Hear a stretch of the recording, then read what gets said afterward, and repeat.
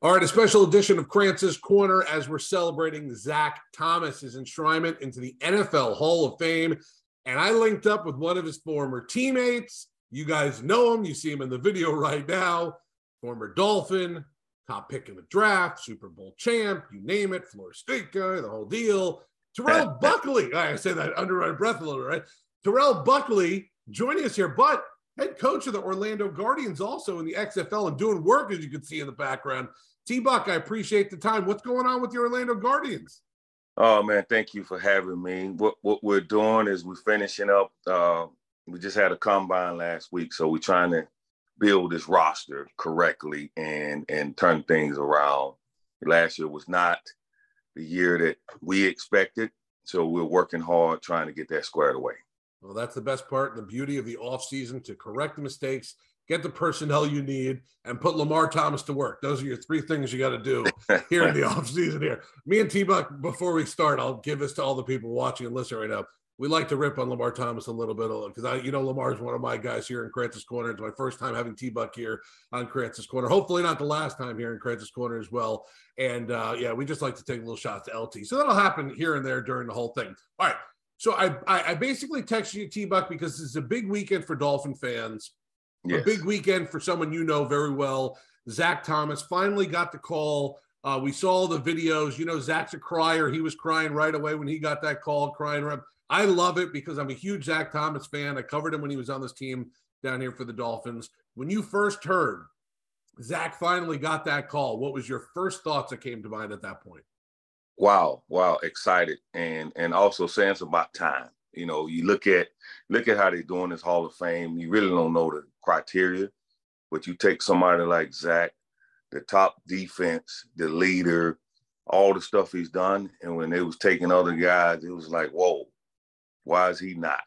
So seeing him get that call, seeing him crying, all that, seeing his highlights brought back memories for myself too, uh, being out there with him.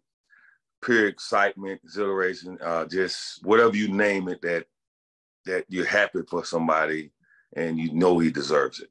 What was your first impressions of Zach when he got into camp? I mean, this was a guy that was he was the 19th linebacker drafted that year in his class. I think the first one was Ray Lewis, so that was a pretty good one right there. Hall yeah. of Famer Ray Lewis. There was 18 guys or 17 guys picked in between Ray Lewis and Zach Thomas.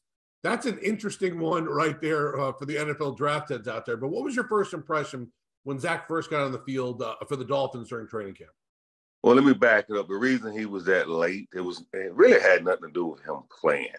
But he's five eleven. Right. You know, nickname I gave him nickname Little Buddy. You know, I don't remember, remember the jeans the commercial used to be. Uh, but it was like, oh, here's this little thick, short guy. When you first see him walk out there, and then you see him run around, and then you you go look at the tape, the highlight tape from from college, and you see what he does. Sideline to sideline, filling gaps, had pretty had freaking great hands.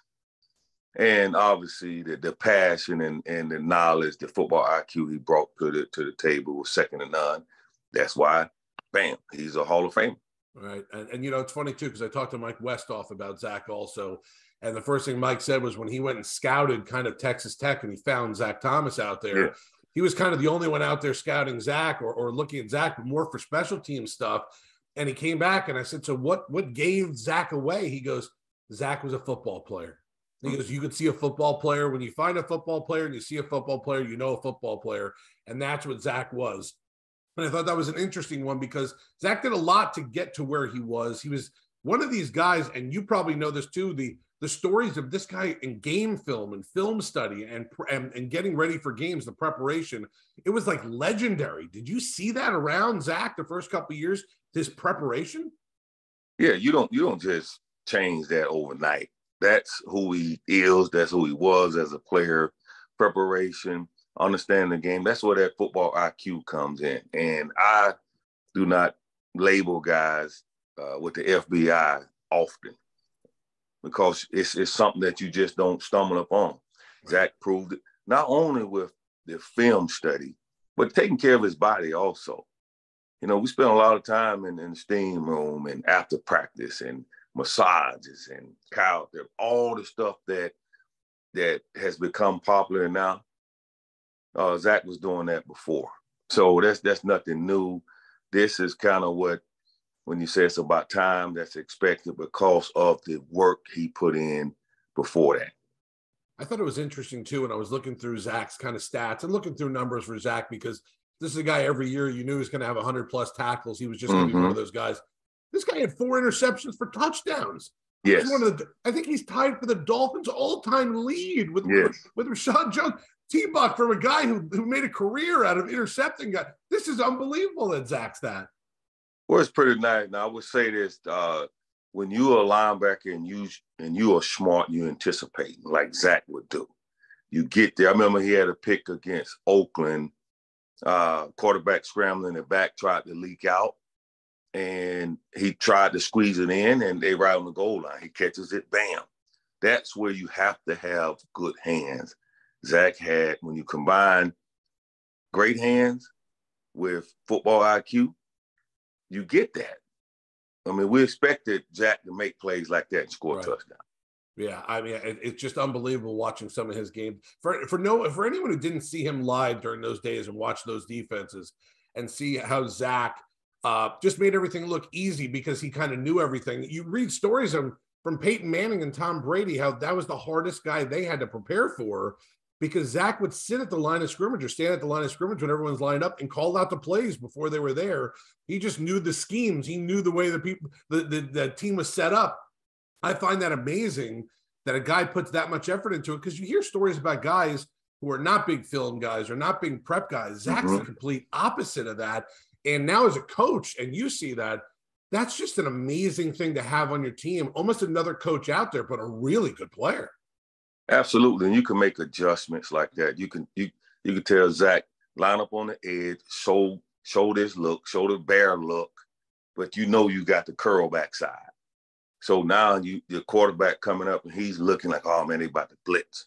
Bam, he drops. They try to throw the curl back side, he picks it off.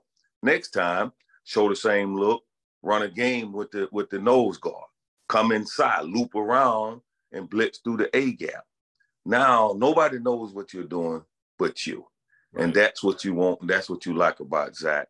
But again, that was bred inbred in him. That's from the beginning. And he just brought that to the NFL. And that's another thing about the draft and evaluating talent, evaluating talent. And I have to give Jimmy and Courtney a lot of credit for drafting somebody that late and mm-hmm. showing and them showing you that they deserve to be out there and they actually let them turn them loose. You have to appreciate all that too. Yeah, hundred percent. I mean, somebody saw it, whether it was Jimmy or Mike or whatever it was. They saw the the guy, the dog in him, and then all of a sudden Zach proved it, and a chip on your shoulder. He or he had a chip on his shoulder from day one walking in there because he was a late draft pick and they didn't think he would make it or make it through camp at least at yes. that point. And then you look, all these years later, now going into the Hall of Fame. How was that as a teammate? Uh, you know, obviously, awesome. was he? I, I figured this has got to be one of the better teammates you ever had. Uh, man, you know what? Uh, you know, I, I consider a great teammate somebody that uh, it, not only hold yourself accountable, hold everybody else accountable, uh, but off the field, you, you you actually talk about things beside football, and you actually feel comfortable around. You hang out. It's, it's not right. a show that's what I like. And, and knowing Zach's background uh, with his father and all the history and trust funds and all that, one of the coolest, best teammates I ever had because of everything that surrounded him uh, and where he came from and his attitude. Uh, we got along great. I, I really enjoyed my time with him. Yeah, I can imagine. Zach's a great guy. Love. I mean, off the field, he's been so great to all. You know, even the media guys over the years been perfect with them. Zach's the kind of guy, by the way, in the locker room once a week who would sit in his locker and the media would jump out, you know, oh, Zach's going to talk. We got to run over to Zach. And he would talk for 45 minutes. Most guys, mm-hmm. most guys, five, 10 minutes, I'm out of here. Let me get my media stuff out, you know, out of the way. He'd go into conversations and talk about things. And God forbid you asked him a question about a specific play in the game. Mm-hmm. He would detail everything, tell you where the tight ends were lined up, the quarterback's eyes beforehand. He saw the left guard move his knuckle, so he knew yep. go this way. T Buck, I think that's fascinating for someone who never played at that level, never played at any level like that. It's fascinating hearing stories like that. Yeah, you appreciate that, and Yeah. and and if your game, if you feel like you're that type of player that you're going to study, and all of a sudden you you're putting in eight hours, and then you see Zach over there putting in ten, you're like, well, shoot, I'm slacking. I need to put ten. So Right. raising everybody game, raising late, raising their level of play, study, and everything up is what Zach was about. And that that's something that I think is missed. By him doing all that, it raised everybody else game up. Right. And, and listen, how hard is it for and this is this is me asking you this question as a head coach Mhm. now. How hard is it being a head coach knowing all the if a guy doesn't put in the time and effort like you did before, like you like how how tough is that for a guy? Because I can imagine that's why Zach probably can't be a coach because of all the stuff he did. And if a guy doesn't put in half the effort or all the effort he did, he probably couldn't even handle it. How do you handle that? Do you find a lot of guys that are kind of T buck guys? Yeah, it, it's very tough now. It, it's tough, and I think uh, as as the longer you coach, you take yourself. You have to remove. You set standards. Right. Just like we had a team meeting, our first team meeting last night, and I put up the Guardian way. Right, that's how we're gonna operate. This is the Guardian way. Whatever we agree upon, this is the only way we're gonna do it. If you're not gonna do it that way, then we have to make changes. So you, as a, for me as a former player that is gonna do everything it takes, gonna put in all them hours. All you can do is set the standard, be honest with them, let them know if they don't do it, then you have to move on. Uh, and and Zach would, I think he would make the adjustment because that's that's the type of person uh, he is and the type of player he was. That it will be very tough at first, but he'll come around because he'll make those adjustments. One one thing, and I'll let you go after this because I know you got to get back to everything. They're talking to Terrell Buckley, who's sitting here, Orlando Guardians head coach. He's been on Zoom call. I'm, I'm like in the middle of all his Zoom calls right now. as He's getting ready through this combine stuff. Uh, one thing for Zach that I, I just kind of noticed over the years with him, he never wanted to do media stuff because he spoke his mind. And he knew that that would get him in trouble a lot because if someone asked him a question about something, he would be blatant about it. He would say, "Well, this is what happened," or "This is what the problem was." This and that. Mm-hmm. And I thought it was funny over the years because I would talk to him off the air, see him at an event. He would say something. I'd ask him a question, this and that. I'm like, "Hey, come on, you know the show next week." No, no, no, I can't do that. I'm going to get in trouble because I'm going to say something that nobody, you know, I'm going to speak the truth. And I think Yes. that was Zach. That that was Zach always as much as I knew him, and I wasn't his teammate. The guy always spoke the truth, always said what's on his mind. Absolutely, and that, and that's why I, appreciate him, love, because you know I'm similar to that, uh, and I understand what he says about you want to be honest and Right. upfront.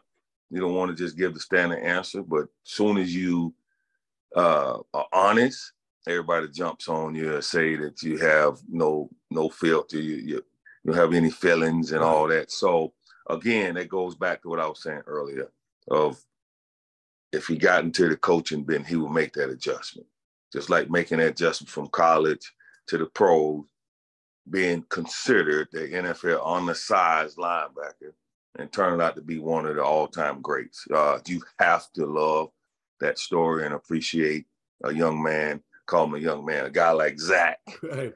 uh, uh, that's made that happen. So I'm I'm forever indebted to uh, and grateful for playing with him. And I saw the greatness before that, cause in the background, you see, I got all these, I got jerseys, I got jerseys at two places, right? So I have Right. I have a Zach Thomas jersey on my wall. I've been there for over a decade. So uh, I appreciate and saw that when I was playing with him. You're gonna have to open that up so you could re-sign that with Hall of Fame class of 2023, right? I know, I know. you gotta, you gotta pop know. open the uh, the shadow box one more time I so you know. can get in there. I, Uh, I just I just got LeRoy Butler's, you know, you know, who's teammates at, at Right. college and the. So yeah, I have a few. I'm waiting on uh waiting on a couple more, but I also have Jace JT's uh on the wall. So I have a I have some guys now. T-Buck, I'm you played- excited. You played on a hell of a defense down here in Miami and some great teams overall. 14 years in the NFL, Super Bowl champion, Miami Dolphin right here. Terrell Buckley, more importantly, right now, head coach of the Orlando Guardians as they get prepared for this next season. T-Buck putting in the work. T-Buck, I can't thank you enough. I appreciate your time today. I only wanted to talk a little bit about Zach and your team. You did exactly that. I really appreciate it. Hey, thank you for having me on. Anytime, uh, anytime you need me, you want to talk, I'm available. I love it. That's, don't tell someone like that me that because you know I'll bug you once a week at that point.